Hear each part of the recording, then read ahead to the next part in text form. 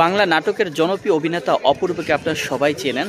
তো অপূর্বকে নিয়ে কলকাতায় আমার চমৎকার একটি অভিজ্ঞতা আছে, আমি সেটি একটু আপনাদের শেয়ার করি। দশ মার্চ যখন আমি কলকাতায় আসলাম, তখন হোটেল খুঁজতে গিয়ে হোটেল, একটি হোটেলে একটি পত্রিকা পেলাম দশ মার্চের পত্রিকা। আমি যেহেতু সাংবাদিকতা করি, সেহেতু পত্রিকার প্রতি আমার খুবই এক ধরনের টান রয়েছে।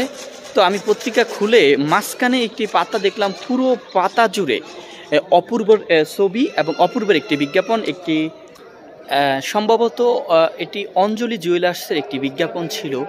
পুরো পাতা জুড়ে অপূর্ব ছবি তাদের বিজ্ঞাপনের প্রয়োজনীয় যেভাবে শুটিং করা দরকার, সেভাবে শুটিং করা।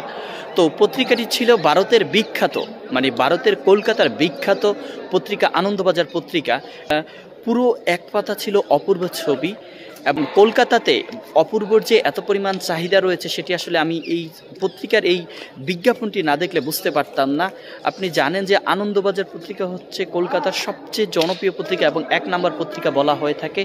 সেই আনন্দবাজার পত্রিকার একটি, পুরো একটি পাতা, পুরো একটি পাতা ছিল অপূর্বের ছবি। আমি স্ক্যানে সে অপূর্বের ছবিটা আপনাদের দেখাচ্ছি।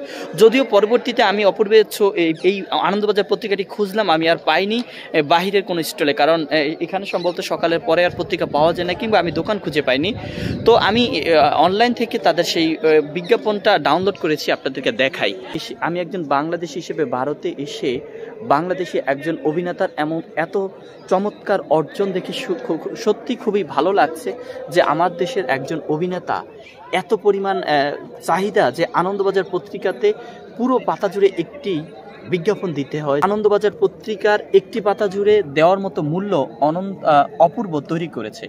ভারত থেকে অপূর্বর জন্য রইল অনেক অনেক শুভকামনা। অভিনেতা অপূর্বর বাংলাদেশের অভিনেতা অপূর্ব আপনাদের অনেকেরই প্রিয় এবং বাংলাদেশ এই মুহূর্তে নাটকের সবচেয়ে প্রিয় নায়ক বা হিরো মধ্যে একজন হচ্ছেন তিনি। তার জন্য অনেক অনেক শুভকামনা রইল।